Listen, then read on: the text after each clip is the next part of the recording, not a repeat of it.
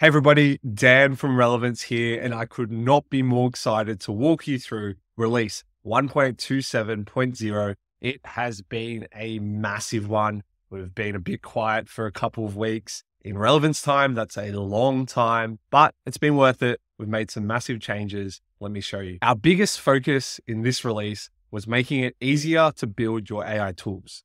First of all, a bit of a recap. AI tools are the automations that you can build in our no code builder that help you distill repeated jobs that you might use in your AI workforce. You can build these AI tools and you can equip them to your agents, sort of a fundamental building piece of the relevance platform.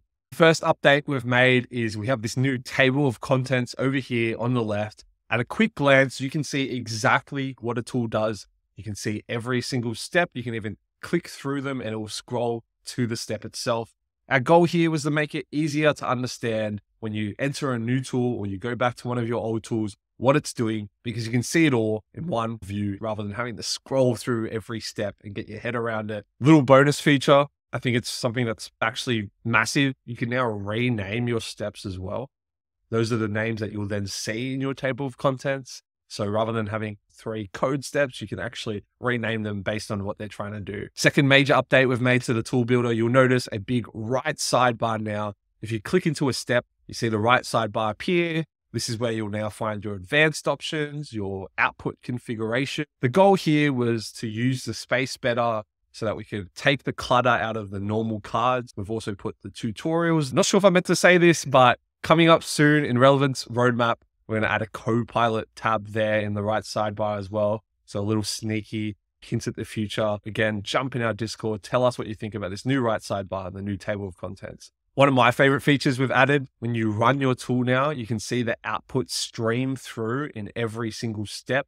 Helps in two kind of ways. First of all, it's exciting. It looks really cool to see it all coming through. But secondly, it makes it easier to debug. You don't have to wait for the whole tool to finish to see if there's some incorrect output in step one or step two. Here's maybe my second favorite update we've made. You can now add custom images as your icons. Previously, you could select an emoji, but now you can open up the emoji drop down, click the custom tab, drag in maybe your company's logo, maybe an avatar you've created for your agent, or, you know, maybe just a meme, whatever floats your boat. Your tools and your agents can have custom icons. All right, three minor changes to wrap this video up.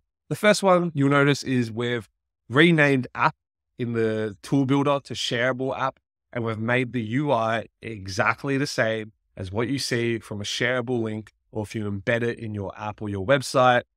The inconsistency here used to annoy people. We totally get that. So we made them the same. We've got two new tool wizards. Knowledge Q&A it was really well received. We've created two more wizards now for the other major use cases we commonly see. Feel free to give them a spin. And finally, when you use the insert data into knowledge step, I promised this in the last video. When you select the knowledge table now, it pre-fills the input with the columns of your knowledge table. That's a wrap. Release 1.27.0, some massive updates to that tool builder that really excite me. I think it's easy to use now. I think it just looks better.